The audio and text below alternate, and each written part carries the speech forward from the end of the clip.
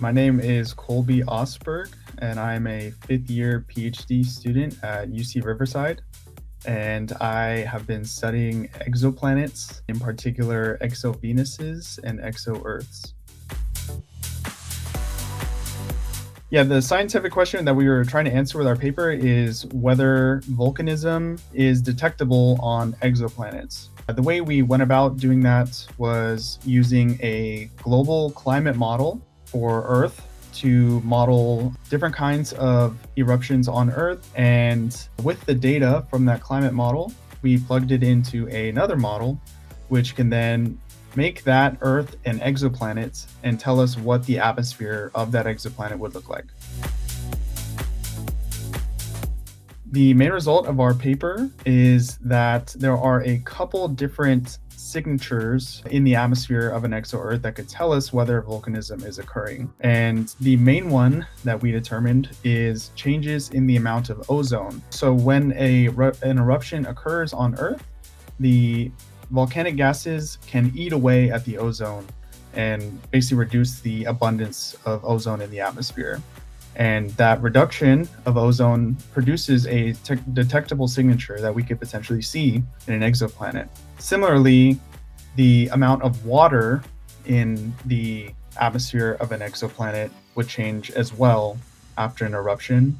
And so seeing that change it, that change in water abundance uh, is something else that we could potentially look for when looking for volcanism.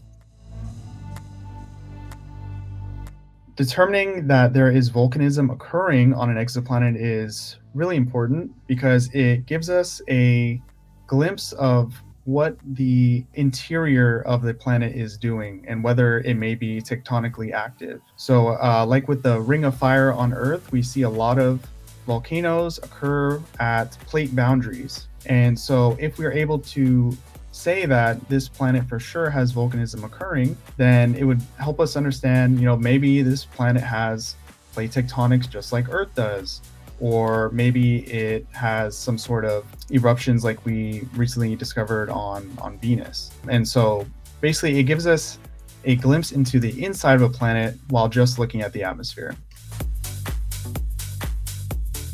Yeah, so I have a lot of research going on but there are some other projects that we were thinking about getting into that would be like a follow up to this paper.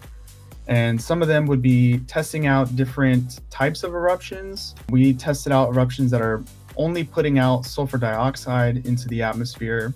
But there's other kinds of eruptions, like the one that happened, uh, I believe, in Tonga recently, where they end up pumping a whole lot of water into the atmosphere. And so that could totally change what the uh, atmosphere looks like to us if we're viewing it as an exoplanet. Um, and so that's something else we wanted to look into these different kinds of eruptions. And uh, I'm also interested to see what an exovenus might look like uh, as a, an exoplanet and how the atmosphere would look different to us and whether we can differentiate an exovenus from an exo Earth.